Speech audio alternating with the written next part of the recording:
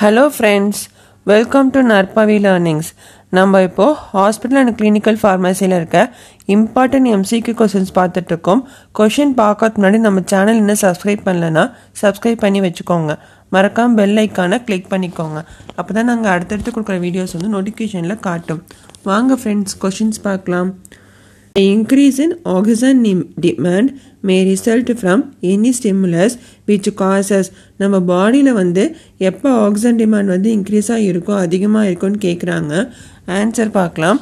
Increase in heart rate increase in systolic ventricular pressure or size increase in rate or force of contraction of myocardium all the above heart rate increase ஆனாலும் ventricular systolic ventricular pressure இன்க்ரீஸாக இருந்தாலும் myocardium அந்த மசிலோட கான்ட்ராக்சிட்டி அதிகமாக இருந்தாலும் நம்ம oxygen demand வந்து நம்ம பாடியில் அதிகமாக இருக்கும். Answer is all the above second question the duration of attack of angina pain can be from இப்போ ஹார்ட் அட்டாக் வருதுன்னா அந்த பெயின் வந்து எவ்வளோ நேரத்துக்கு இருக்கும் அப்படின்னு சொல்லி கேட்குறாங்க ஆன்சர் பார்க்கலாம். Thirty seconds to forty five minutes one hour five seconds to ten seconds two hour answer பார்த்தீங்கன்னா thirty seconds to forty five minutes இந்த பெயின் ஹா ஹார்ட் அட்டாக்கோட பெயின் எப்படி இருக்கும்னா நம்ம ஹா நம்ம லெஃப்ட் சைட்லேருந்து ஸ்டார்ட் ஆகிட்டு நம்ம நெக் லோயர் ஜாலேருந்து அப்படியே ரேடியேட் ஆகும் ஸ்ப்ரெட் ஆகி நம்ம லெஃப்ட் ஹேண்ட் வரைக்கும் கீழே இறங்கும். இந்த ஹார்ட் பெயினுக்கு ஹார்ட் அட்டாக் பெயினுக்கும் நம்ம கேஸ்ட்ரைட்டிஸ் பெயினுக்கும் வந்துட்டு இந்த டிஃப்ரென்ஷியேட் பண்ணிக்கலாம்.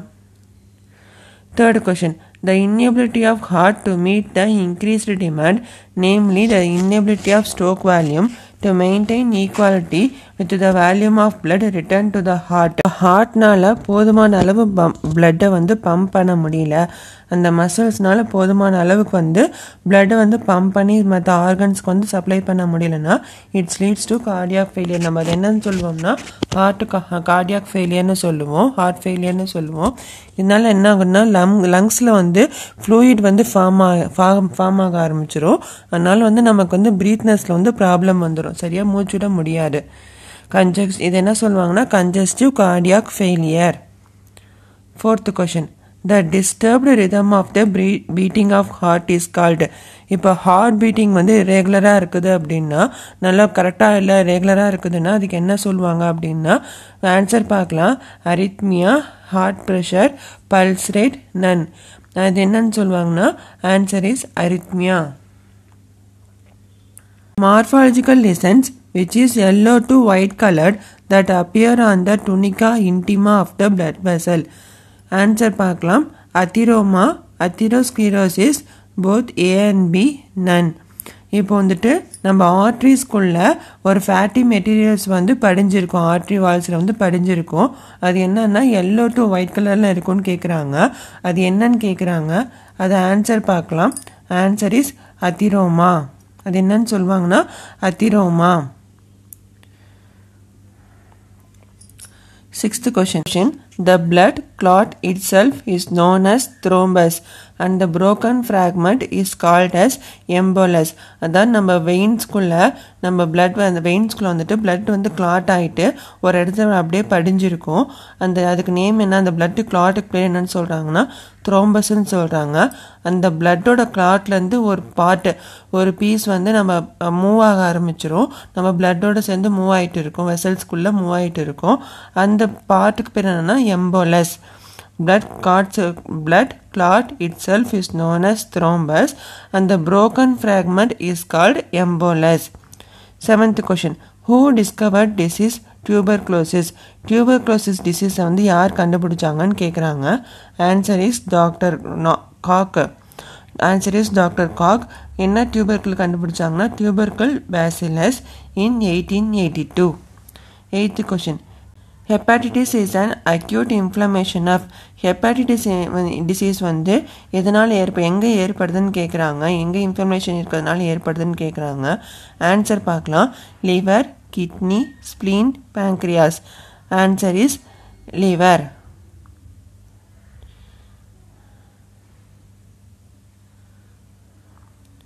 which type of hepatitis transmitted by parental route இது கொடுத்துருக்க டைப்ஸில் வந்து எந்த டைப் ஆஃப் ஹெப்பாட்டிஸ் டிசீஸ் வந்து பேரண்டல் ரூட் நம்ம இன்ஜெக்ஷன் போடுறதுனால ஏற்படுது அப்படின்னு சொல்லி கேட்குறாங்க அதாவது ஒருத்தருக்கு போட்ட இன்ஜெக்ஷனில் அந்த சிரஞ்சில் வந்து இன்னொருத்தருக்கு போடுறது பிளட் டிரான்ஸ்யூ டிரான்ஸ்ஃபியூஷனால் வந்துடுது இந்த மாதிரி எந்த ஹெப்பாட்டிட்டிஸ் வந்து அந்த மாதிரி ஏற்படுதுன்னு கேட்குறாங்க answer is hepatitis B tenth question diabetes insipidus occurs due to deficiency of இப்போ நமக்கு தெரியும் டயபெட்டிஸ் மெல்டஸ் வந்து டெஃபிஷியன்சி ஆஃப் இன்சுலினால் வருது அப்படின்னு.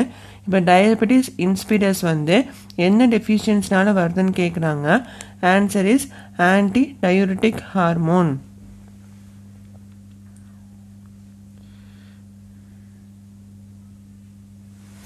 eleventh question diabetes mellitus occurs in childhood நம்ம இப்போ வந்து பெரியவங்களுக்கு வந்து ஏஜ் காரணமாக ஜெனட்டிக் காரணமாக ஃபேக்டர் காரணமாக நமக்கு டயபெட்டிஸ் மெலிட்டஸ் வர்றது பார்த்துருக்கோம். இப்போ குழந்தைகளில் சின்ன குழந்தைங்களுக்கே வந்து டயபெட்டிஸ் டிசீஸ் வருது அதுக்கு என்ன காரணம்? அந்த அந்த டயபெட்டிஸ் வந்து எந்த டைப் ஆஃப் டயபெட்டிஸ் வந்து குழந்தைங்களுக்கு வரும் அப்படின்னு கேட்குறாங்க அது என்ன சொல்லுவாங்க அப்படின்னா ஆன்சர் பார்க்கலாம். Insulin depend or type two ketoacidosis prone disease நான் insulin dependent or type one ketoacidosis resistant disease diabetes both A and B none answer is insulin dependent or type two ketoacidosis prone diabetes twelfth question cold salt cold சால்ட்னு சொல்லிட்டு எதை சொல்லுவாங்கன்னு கேட்குறாங்க answer is sodium aurothiomalate thirteenth question The first sign of such a seizure is twitching at one corner of mouth. As the discharge spreads the muscle around the eye, then muscle of the hand and then food get involved. This type of seizure is often called Jacksonian seizure. இந்த ஜாக்சோனியன் Caesar பார்த்தீங்கன்னா இப்போ வந்துட்டு நம்ம பாடியில் வந்து எங்கே start ஆகும்னா நம்ம ஃபேஸோட ஒரு சைடு ஒரு கார்னர் இப்போ மவுத்து ஒரு கார்னர் அங்கேருந்து ஸ்ப்ரெ ஸ்டார்ட் ஆகும். அதுலேருந்து பார்த்திங்கன்னா ஸ்ப்ரெட் ஆகும். எங்கன்னா நம்ம கண்ணுக்கிட்ட வந்து ஸ்ப்ரெட் ஆகும். இல்லைனா கை ஒரு கையில் இல்லைனா ஒரு காலில் இல்லைனா ஒரு விரலில் இந்த மாதிரி ஒரு லோக்கல் ஏரியாவில் ஒரு பர்டிகுலர் ஏரியாவில் மட்டும் இந்த சீசர் வந்து சயின்ஸ் கொடுக்கும். Fourteenth question the first phase of grand mal seizure is known as grand mal சீசரோட first phase எதுன்னு கேட்குறாங்க answer is tonic phase or contraction phase the normal pulse rate in neonates. நியோநெட்ஸ்னால் பிறந்த குழந்தைங்க. பிறந்த குழந்தைங்களோட pulse rate எவ்வளோ இருக்குன்னு கேட்குறாங்க ஆன்சர் இஸ் நம்ம ஆன்சர் பார்க்கலாம். One forty to one thirty to one forty sixty five to eighty per minute hundred to one thirty per minute above one minute. Per minute answer is one thirty minute. One forty per minute நம்ம அடல்ட்ஸ்க்கு வந்து மாறும். அதே மாதிரி சில்ட்ரன்ஸ்க்கும் மாறும். பிறந்த குழந்தைங்களுக்கு வந்து அதிகமாக இருக்கும். Sixteenth question normal clotting timing of blood இப்போ நம்ம வந்து ஏதாவது காயம் ஆயிடுச்சுன்னா பிளட் வந்து ஒரு தானாக கிளாட் ஆயிரும். அது எவ்வளோ நேரத்துக்குள்ளே தானாக கிளாட்டாகவும் கேட்குறாங்க ஆன்சர் பார்க்கலாம் three to six minutes one to two minutes ten to fifteen minutes fifteen to twenty minutes answer is three to six minutes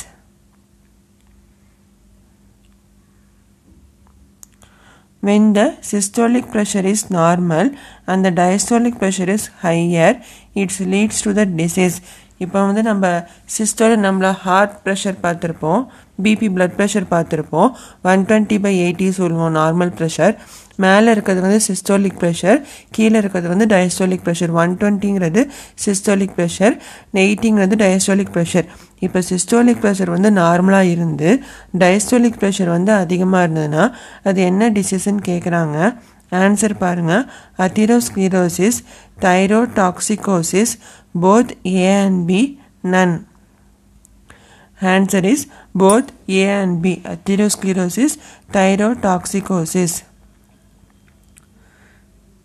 When the systolic pressure is lower and the diastolic pressure is higher, it indicates the disease.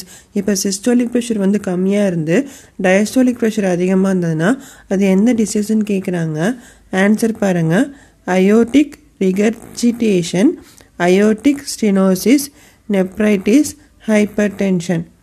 Answer is aortic regurgitation.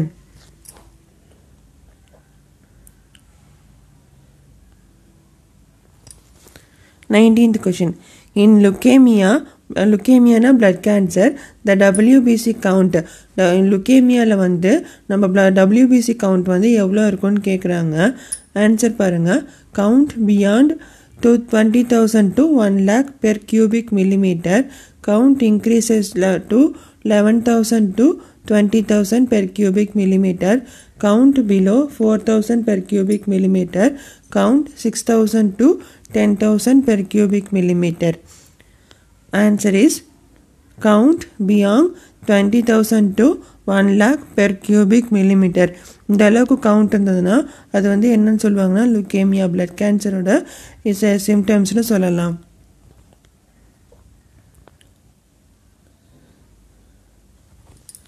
டுவெண்ட்டியத் question decrease in eosinophils eosinophils வந்து கம்மியாக இருந்ததுன்னா அது என்னன்னு சொல்லுவாங்கன்னா answer பாருங்கள் eosinopenia eosinophilia both A and B none answer is eosinopenia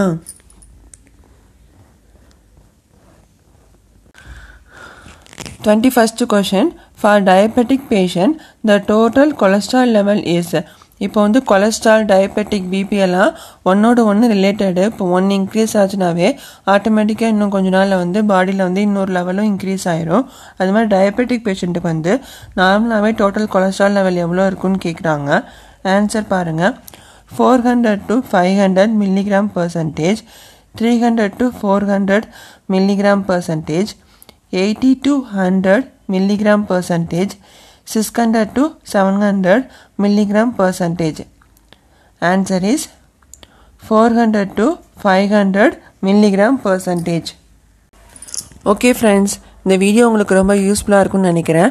like பண்ணுங்கள் share பண்ணுங்கள் comment பண்ணுங்கள் சப்ஸ்கிரைப் பண்ணி வச்சுக்கோங்க. Thank you friends